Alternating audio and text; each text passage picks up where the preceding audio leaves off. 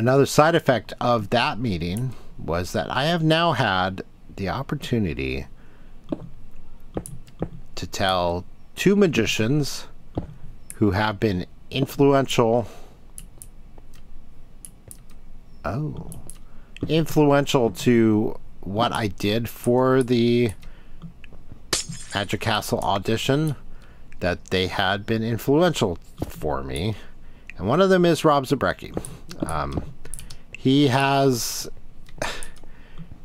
one of the things that he's he's best known for is he's got a great character that he does magic as. Um, most magicians really even if they even if their character is just kind of a heightened version of themselves most magicians perform as a character um, it just helps make oops, finding sort of the voice for the writing uh, to be a little bit easier. And take these out. And Rob Zabrecky is one he's got a better sense of character than most people. Than most magicians do. Um, and he performs as and he calls and I asked him if he had a name for the character. And he he didn't have a name like a like a regular normal name but he said enough people describe the character as the odd man so that's kind of what he calls the character uh, and it's kind of an appropriate thing because he's just kind of he's got this sort of lanky sort of physique and uh, and he is he is kind of odd in his demeanor. He just he's one of these sort of kind of creepy. Um, you know, he, he just kind of he doesn't say a whole lot. He just kind of there and observing and just kind of kind of a little just creepy, odd. so he uh, he told me that that's kind of what he refers to internally the character as as the odd man. So, there we go.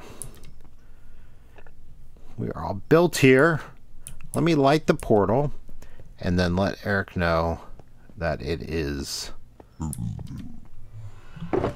uh, it is built. Again, he wasn't entirely sure that he wanted to put these in here too.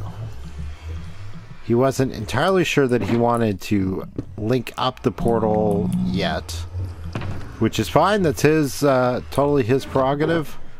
Uh, if he doesn't want to, we can wait.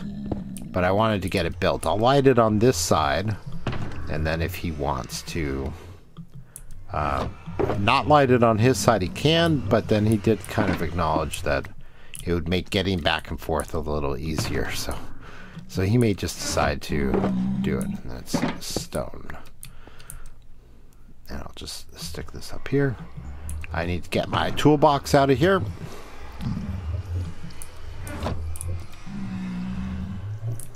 This here.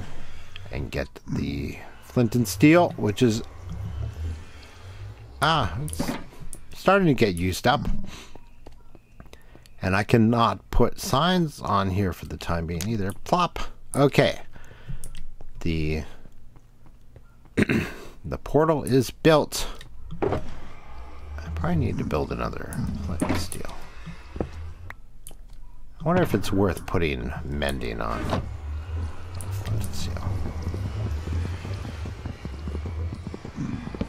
Okay, now if I go through the portal now, it's going to search for a for a lit portal, and then it will decide.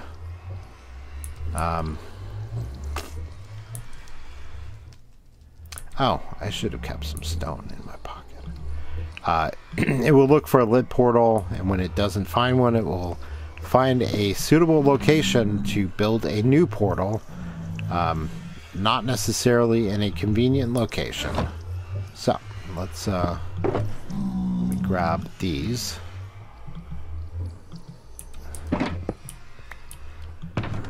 And it will not light up the portal frame that he's already built. So that's not super convenient. So let me do this. Plop, plop, plop. Okay.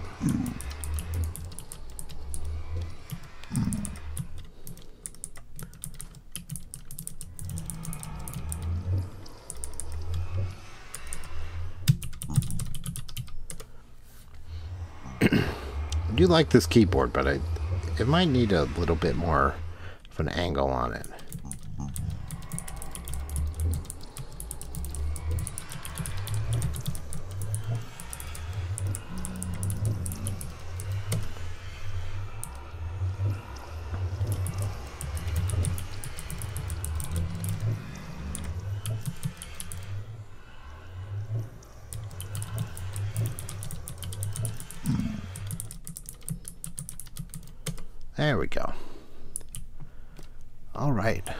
Um, yeah, so uh, Zabrecky starts off his show,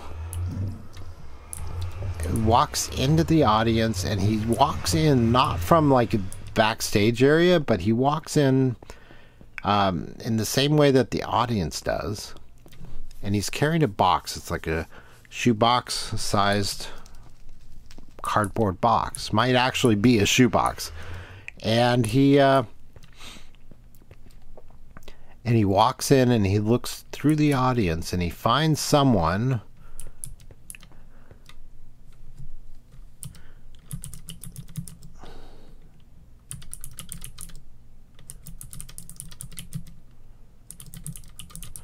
Sorry, hang on a second.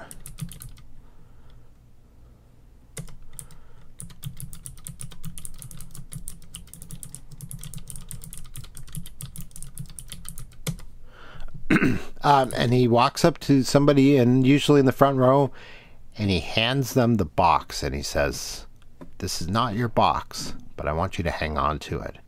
Then he goes up on stage and does his show. And he never opens the box. It's not part of the show. There's not a reveal. Other magicians would would do something like have a like a card trick and have someone um, the, the the card would end up in the box, which would be kind of a cool trick. But um, it is. Oh, there's some gold in here. Nice. Oh, there's lots of gold in here. Okay, I'm gonna repair some stuff. Um, so yeah, it would be it would be kind of like the location of a prediction or a selected card or something like that and that sort of would be the sort of the normal way of using it. And that's fine. That can be a really good trick. Um, but i just love the fact that the extra layer of mystery that it adds that it's never referenced. I mean he references the box. He'll check in on the person and make sure that they're still you know keeping the box safe. Like it's super important to him and it kind of be, then becomes important to the audience. But it is it is not part of the act. It's just it's almost like another character in the in the show. So, and then when he gets done, he doesn't uh, he doesn't do he doesn't do anything with the box, and he just walks off the stage. And instead of saying, you know, thanks for coming, thank you very much, that's my show, he he just basically walks off the stage Sorry if this gets noisy. Um, walks off the stage, snatches the box back from the person, and then then walks out the door, and that's it. That's that's the end of the show. Uh, which is which is a you know for a character who's like the odd man.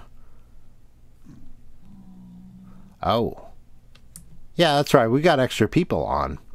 Okay that might be enough to repair my stuff. I don't have much here, just the pickaxe mostly.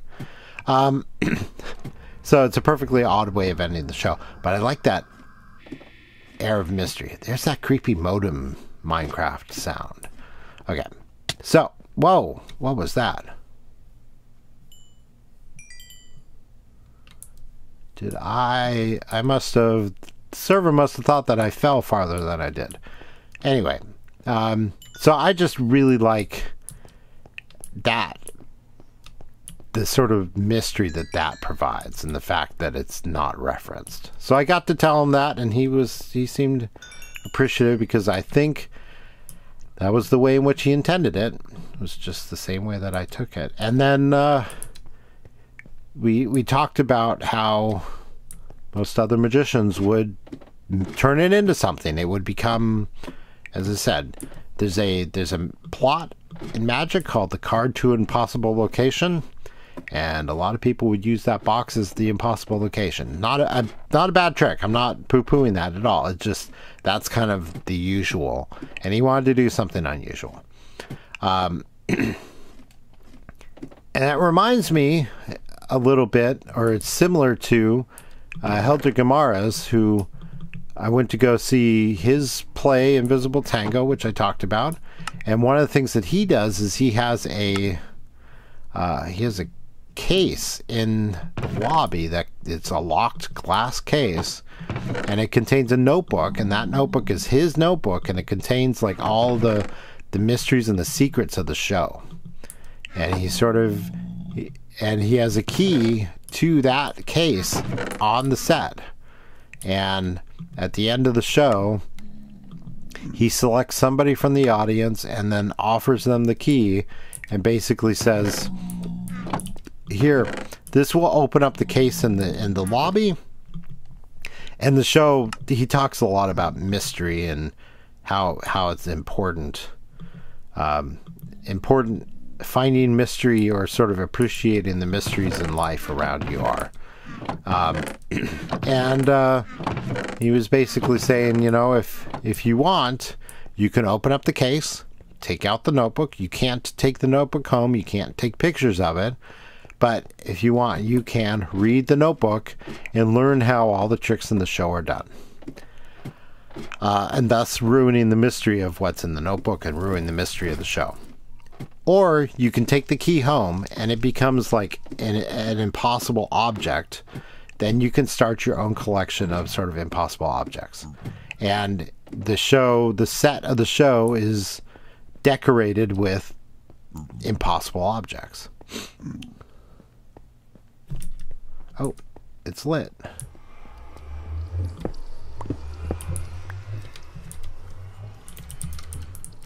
Ah, worked.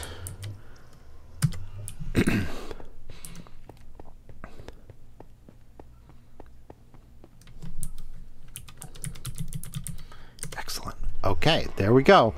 This portal now goes to Eric Hulk's place. And uh, we can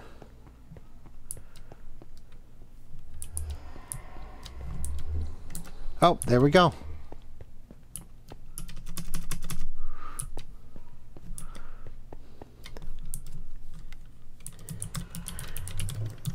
Oops. Name. Ah.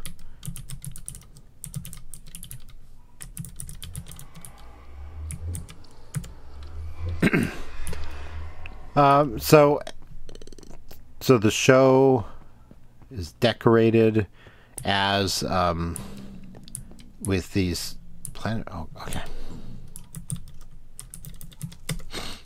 Uh, the show is decorated with these signs, with these objects that are, they have kind of interesting, crazy stories, um, and kind of mysterious origins. Um, so he sort of offers it up as as if the person he gives the key to doesn't already have a collection of impossible objects that they, they can use this as their first one which i think is kind of cool um well only one golem hi mr turtle. He escaped. Signs. I need signs. And we'll do this. Plop how are you guys doing? Uh, someone's still farming, so there's relatively new villagers in there. Oh, okay. We go back in. Uh, so this can be th- that person's first impossible object, which I think I think is a neat way of ending the show, and it does add a sort of a layer of mystery to the thing. And there are things in the narrative of the show that are sort of intended in that way as like, oh, it's a mystery. Uh, so that that's I think that's kind of a neat thing, and the so the notebook in the case and and in, in Helder's show and the um, and Zabrecky's box. Both were pretty influential on one particular trick that I. Is that right? one one of the tricks that I did in my whoa uh-huh uh, one of the tricks I did in my audition so that was uh, so one of the reasons I wanted to go see Invisible Tango again was because Helder greets people after the show uh, and takes pictures with them, signs autographs, that kind of thing. And so I wanted to, I wanted to, I wanted to tell him that that you know his show not only sort of inspired me to try and add that to my audition, um, and but that my audition had been successful. Um, so I I just thought he might appreciate that. I think he did. Um, so, and there's a third magician that is kind of, um, kind of in that group of the people who sort of inspired me. He's an Argentinian magician named Manuel Llaser. Llaser? L L A S E R. Um, oh, there's a white coat in there. Let's go see what he is.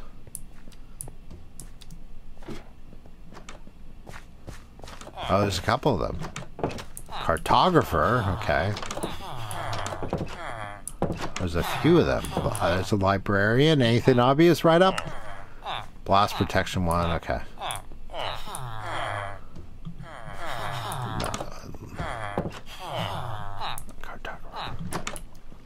I guess it's nighttime. Careful, otherwise I will spawn some phantoms. Um, so, and uh, I, I believe that, not believe, I know that uh, Manny Yazer, Llaser, is going to be performing. He's going to be coming to the Magic Castle in a few months, in a couple months. So I believe I will have an opportunity. I have I have communicated with him on email, so I believe that I will have an opportunity to uh, to talk with him and, convey that uh, to him in person, which I'm I'm excited for. He is. Uh, the reason he was influential was that he was talking in an interview on a podcast called Discourse in Magic. Uh, and he was he is from Argentina, but he's very close with um, Juan Tamariz and, and a lot of the, the Spanish magicians. And, and all of the Tamariz and the magicians in the Spanish crowd are always talking about adding um, emotion to their magic. And, and that always seemed this sort of abstract thing to me. And he was on the podcast talking about about some examples of it, and it kind of suddenly made sense. And uh, so I actually I sent him an email saying thank you, because um, I actually think that there is something of a cultural um, kind of a cultural difference in the way the Spanish magicians and Americans sort of view emotion in art. Um, in that, I, I, think that with Americans, it is basically when we think about emotional art, it's it's basically we're just thinking about you know sadness or joy or sadness, right? We're either laughing or crying. And the way he expressed it, there was a lot more to it. And it was, he was talking about um, this, the sort of emotional texture that one might get from a, from a, you know, well crafted movie or a novel or something like that, and talking about things like suspense and and mystery and um, comedy and other things that we might not necessarily think of as being emotions, or at least maybe I didn't um, necessarily being emotions. Uh, and that's the kind of thing that he was he was talking about, and that made a lot of sense to me. So, um, and that was a little bit of inspiration for me to be to, to try and figure out to put some something else in one of the tricks that I was doing. It's an old trick. It's not my trick, but the the way I had seen it published, there was basically no presentation. Uh, and so, in coming up with a presentation that sort of fit me, I wanted to try and add a little bit of extra texture to it, and I, I think I did that. And and there's, so there's the trick is, um, oh, that area looks so cool. Um, the, the part of the trick is I, the reveal at the end of Blop. Um, reveal at the end of the cards. Um, I, I kind of leave. I kind of leave it mysterious. I offer to leave some of the cards face down, uh, and that uh, I think adds a texture to it that um, that I was looking for. I, I rather like it the way it the way it plays. Um, but so these are fixer uppers. Right, I got a bunch of these, so. That was a creepy sound. So, fixer upper. So this is, that's the spoon. So these are tridents that people can take and fix, add enchantments to it and repair them and all that good stuff. So there we go. And they're cheap. They're diamond. these have channeling on them. And oh, this is the combat one. That's right. I need to uh, I need to make some more of those. Hey, come here. Riptide. Okay. Nice. So anyway, I'm kind of it's kind of exciting that I can we live in a world where I can meet three three magicians from around the world one American, one Portuguese, and one Argentinian. And and actually have a substantial sort of where they can have a substantial impact on on the decisions that I make. Um, in in sort of making my making my tricks um, and and that I can actually talk with them and interact with them Um, it's just, I think it's, I think it's super cool. But anyway, there we go. I think that's it. I've been recording. Let's see how long we've been recording for. Yeah, see, been talking for an hour. So we'll see if I make this one episode or two. Um, because I've been talking pretty, pretty much throughout. Not that many pauses. So, um, we will see. I did not plan on a break, but uh, we will find out. Or I'll just treat this as a podcast because it's kind of what it was.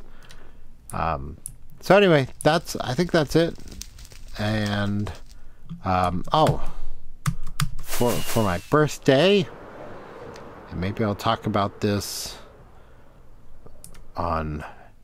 Might record more on Sunday on my birthday itself, uh, but I have birthday plans uh, since couldn't go to the castle. On my birthday we're planning on going to have a, nice dinner. Um, probably just go to a, a steak place. There's a place in glendale called bourbon steak which is rather nice restaurant and uh, probably just go there and get a nice dinner and then just enjoy the uh, enjoy the evening with uh, Chihuahua Power G. Uh, and then on Saturday, so tomorrow night, um, I'm actually going to go see a magic show, not at the castle. There's a magician named Matt Donnelly. He goes by the Mind Noodler. Um, he was Hillbill initially, but changed his moniker. Uh, he will be appearing on. I think I mentioned him and and the fact that I think I at that point didn't know when it was going to be. He will be appearing on Penn and Teller Fool Us in September. Uh, and it's a he's got a really cool act, and he's kind of a mentalism thing, but he's sort of uh, um, hillbilly Appalachian sort of folk sort of persona. Um, and that he, uh, I think he's super funny. He he comes from an improv comedy background, and he's been writing for Penn and Teller and Piff the Magic Dragon and other people, and he effectively started doing magic on a dare from Penn, uh, which I think is funny. And he does, and he appears in the uh, the Penn and Teller Teach Magic Master Class, which you may have seen. It's a it's a 10 hour 8 hour something like that it's a long multi-part class on on magic taught by penn and teller which mostly means taught by teller but um, and they bring on people they bring on johnny thompson to help teach the chop cup um, which is a an interesting prop kind of kind of related to the whole cups and balls Oh, it's looking at that. Is that ice? No, that's my glass. That's my, uh, wow. My base is getting big. That's the glass for one of my areas downstairs. Um, and uh, Matt Donnelly comes on and, and they sort of have, they kind of teach him how to, Johnny kind of teaches him how to do the chop cup. Uh, Johnny and Teller. Which is super cool. It's somebody who's relatively new to magic, can have Teller and Johnny Thompson as mentors, teaching them how to do the chop cup, which is something that Johnny Thompson is kind of famous for. So, anyway, um, yeah. Bark, bark, bark. Think this is the glass I was looking at. cool. I need to do a little bit more with this. I can decorate this a little bit.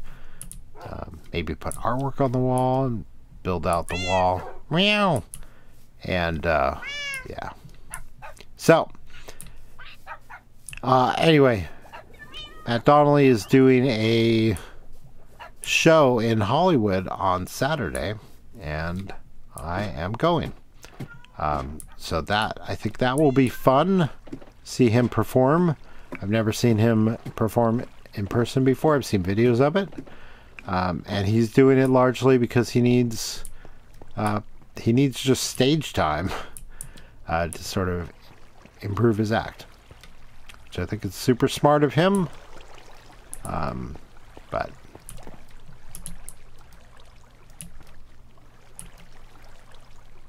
is that a boat stuck underneath the dock? Yes, it is.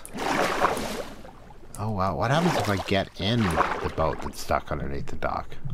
Can't. Okay. Very cool.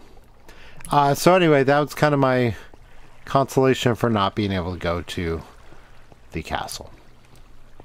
So, now that I've rambled on longer than I think I planned on, uh, I think that's it. I may figure out something to do and come on and record a little bit on Sunday before going to dinner. Um, it's my birthday. I can do that. Um, yeah. So that's that. Anyway, thank you for listening. If you made it this far, thank you, thank you, thank you. And um, um, and uh, I will see you next time. All right, bye.